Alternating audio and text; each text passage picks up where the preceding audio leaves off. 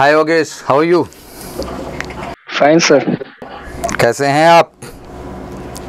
बस बढ़िया सर तो घर पे हैं इस समय? यस सर चलिए। Seven A C Bangalore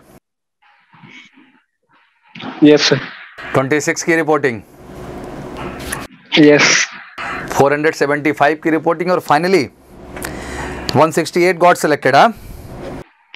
yes sir हिचकल में भी ठीक ठाक आउट कर दिया। अराउंड 150 पीएफटी में आउट हुए हैं rest got out in GD yes sir right तो ये तो रही चलिए बेसिक डिटेल जो we are here to discuss about exactly and GD का टॉपिक भी आपको पता चल रहा है सोशल टाइप का ही था कि village life versus city life हाँ? यस सर चलिए तो आप बेसिकली पहले ये बताएँ कि गाँव से बिलोंग करते हैं कि शहर से? सर गाँव से। तो आपका घर गुजरात में है मूलतः यस सर सूरत गुजरात सूरत गुजरात। तो सूरत तो सिटी भी है बट सूरत से आउटर में गाँव भी होंगे हाँ? इनसाइड सर बहुत अंदर जाए तो गाँव है। जी जी। एक्चुअली मैं सूरत सिटी में ही गया हूँ। एंड बेसिकली उन एरियाज़ में गया हूँ जो बहुत पुराने एरियाज़ हैं जहाँ पे ज़्यादा बिज़नेस होते हैं जो है किराना वगैरह के इस तरह के। तो उस एरिया में एक बार जाने को हुआ मेरे को।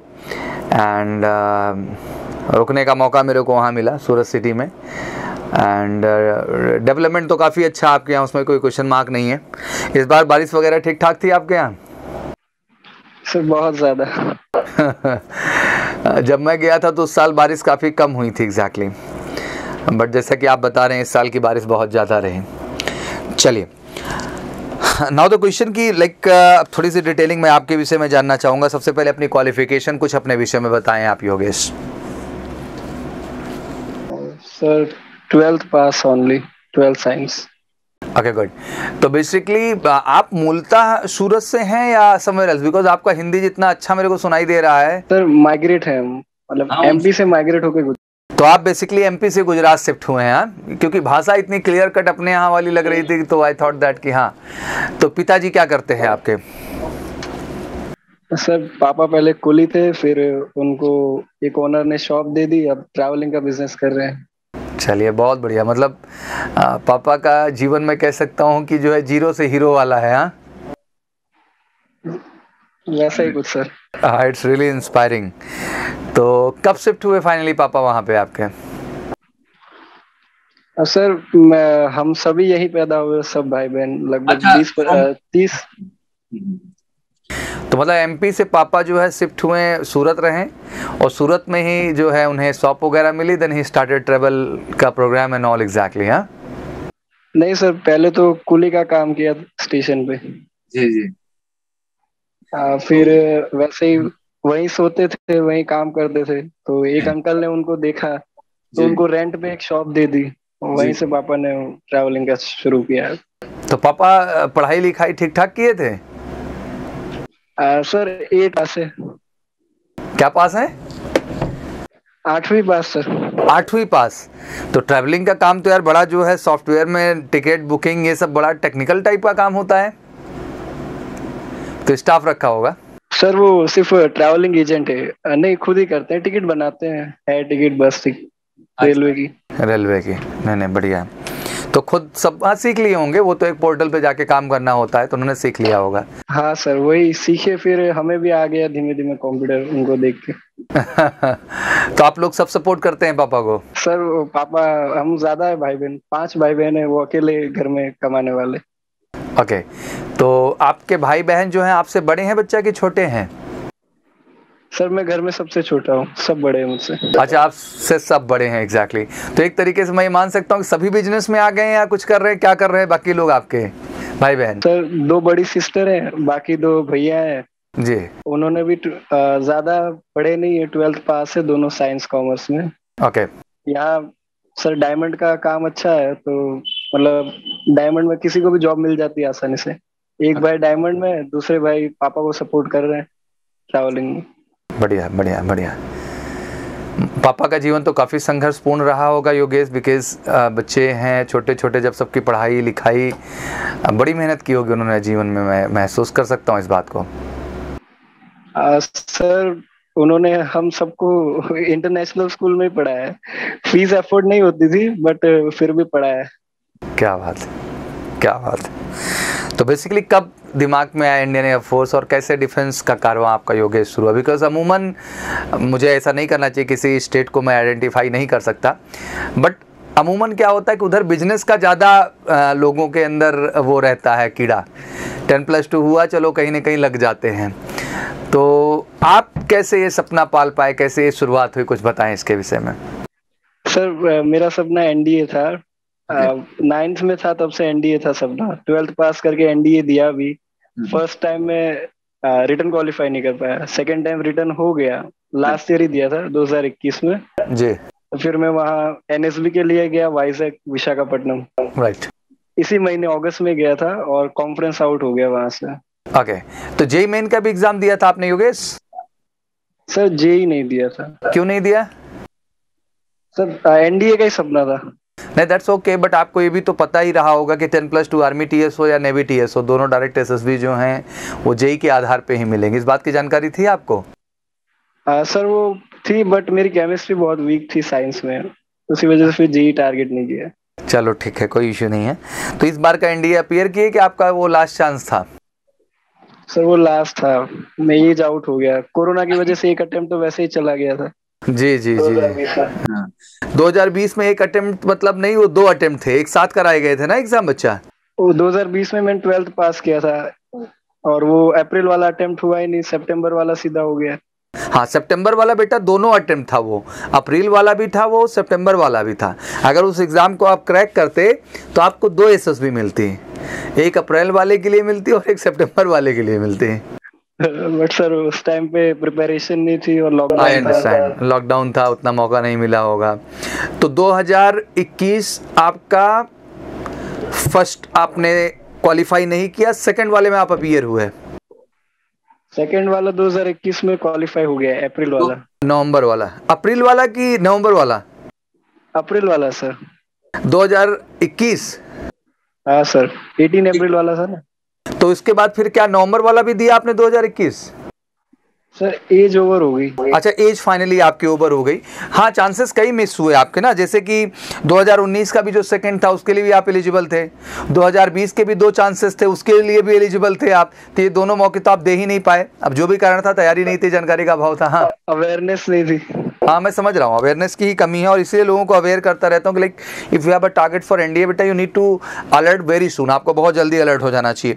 ओके तो 2022 आप अप्रैल के लिए भी नवंबर के लिए नहीं एलिजिबल रहे 2021 तो अप्रैल का क्या मसला है ओवरऑल ग्रेजुएशन कौन सा ईयर चल रहा है आपका योगेश? सर फाइनेंशियली इतना सपोर्ट नहीं था इसलिए कॉलेज में एडमिशन नहीं मिला और ग्रेजुएशन नहीं किया। इसलिए एनडीए के बाद आर्मी नेवी एयरफोर्स अंदर से ग्रेजुएशन कंप्लीट करने का सोचा है। हम्म। योगेश ग्रेजुएशन जैसी चीज़ बच्चा आप नहीं रोक सकते हैं। 2020 गैप किया आपने 2021 गैप किया आपने 2022 चल रहा है बच्चा ये। ये थोड़ा सा, जैसे अपने यहाँ सस्ते सस्ते कॉलेजेस होते हैं यूपी में, बिहार में एमपी में, उधर नहीं होते वैसे? सर इंजीनियरिंग लाइन में सस्ते कॉलेज मिलना मुश्किल है। अच्छा तो इंजीनियरिंग ही थोड़ी करना ज़रूरी था यार। ग्रेजुएशन के लिए आप कुछ भी ले लेते, आप बीए ले लेते बी ले लेते बीएससी ले लेते यू हैव अदर ऑप्शंस ना बच्चा? आप गैप नहीं कर सकते हो, आप समझो बात को। कल कोई इस चीज़ को जस्टिफाई करना भी टफ होगा आपके लिए ना? तो never need to be gap मतलब कभी गैप नहीं होना चाहिए। बहुत गलत है। कोई बच्चा कहता है कि, sir I was preparing for N D I was preparing for the I T that's why two का गैप फॉर ईयर मुझे बहुत सेंसलेस लगती है बात। बिकॉज़ बिना ग्रेजुएशन डिग्री के बच्चे आप अधूरे होते हैं लाइफ में।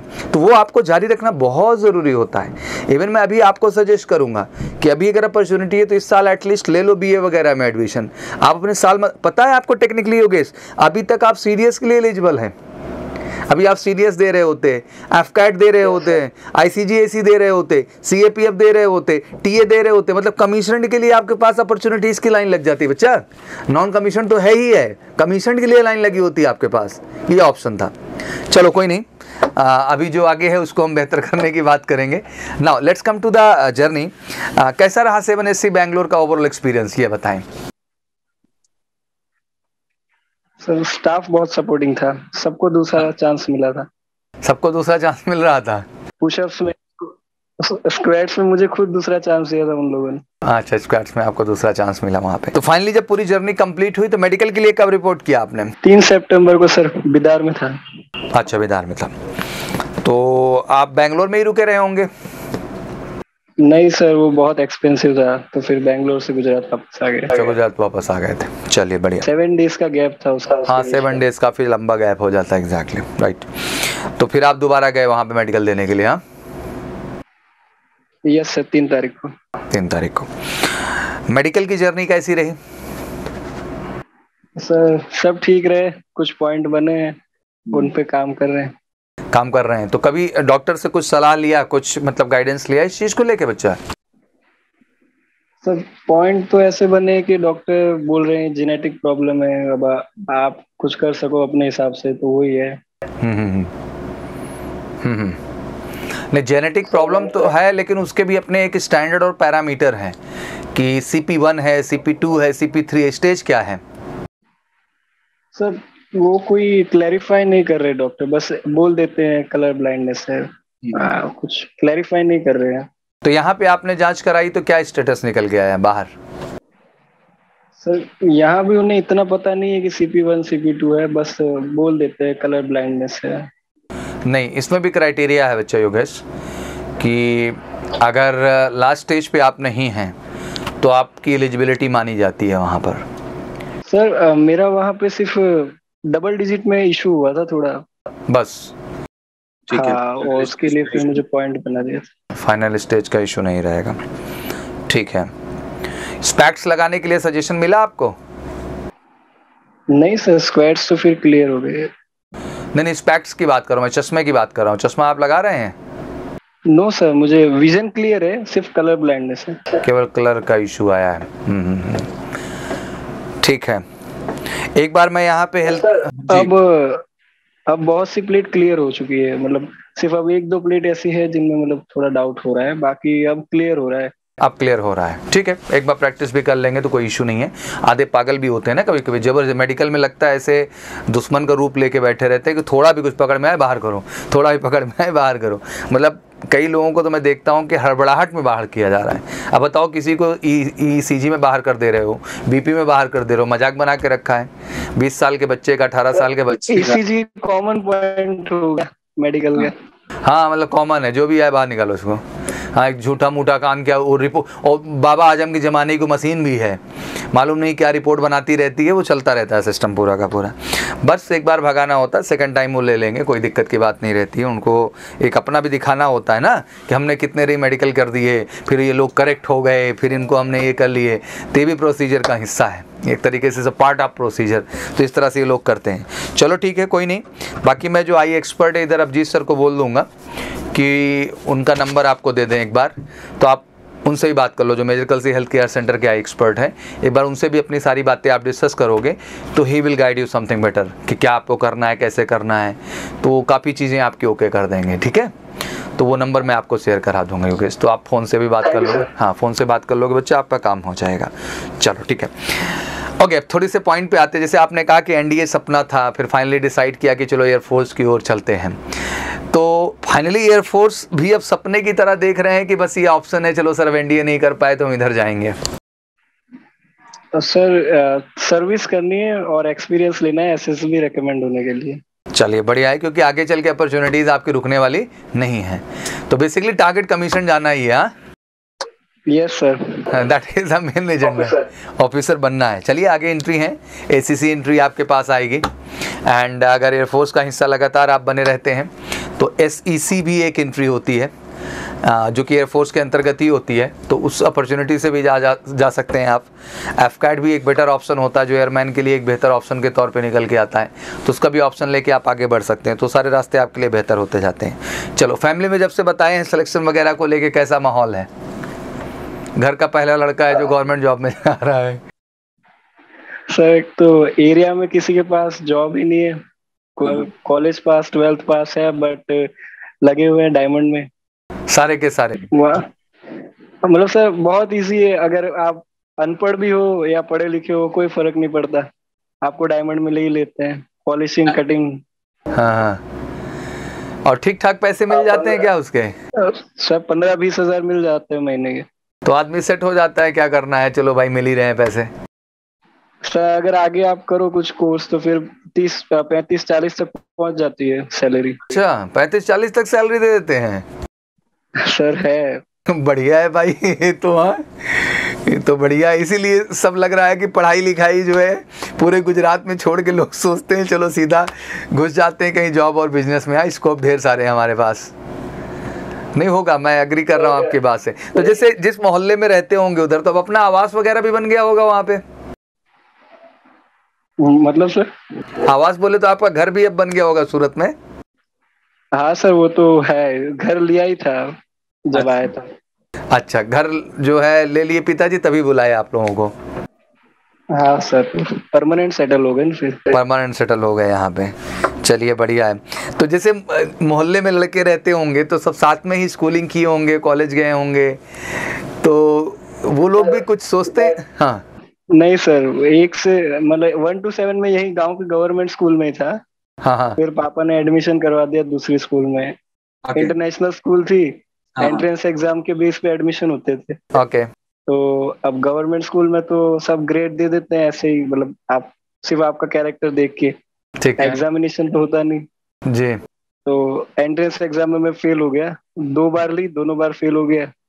फिर सर उन्होंने चीट लिख के दी मेरे एडमिशन फॉर्म पे कि आपका बेटा अगर इस साल 70 से अप स्कोर नहीं करता है तो हम उसे निकाल देंगे और ये हमारी ज़िम्मेदारी नहीं होगी। अब मेरे पापा ने बहुत रिक्वेस्ट की थी उसकी वजह से थोड़ा एडमिशन दे दिया मुझे एट में डोनेशन लिया एडमिशन दिया।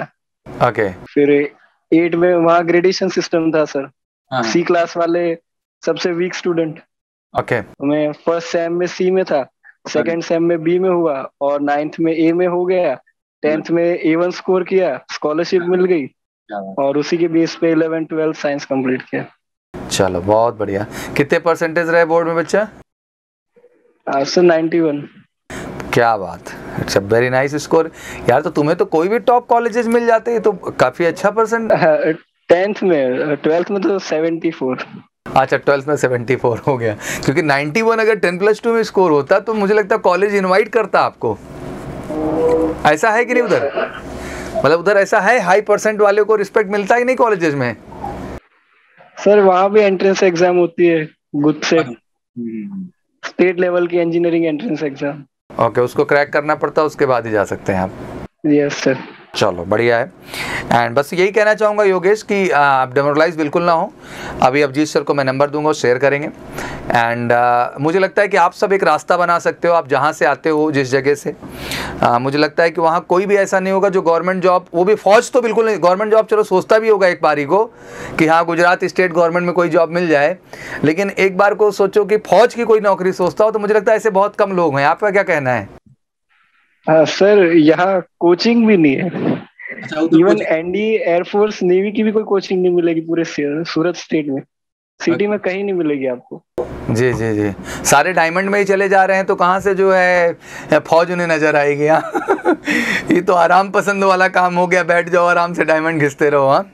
कोई दिक्कत ही ना उनको किसी भी तरह की. नहीं नहीं बढ़िया है.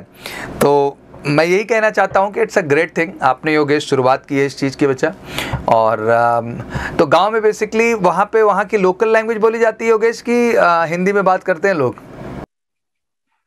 सर हमारी लोकल लैंग्वेज है। अच्छा मतलब गुजराती ही बोलते हैं लोग।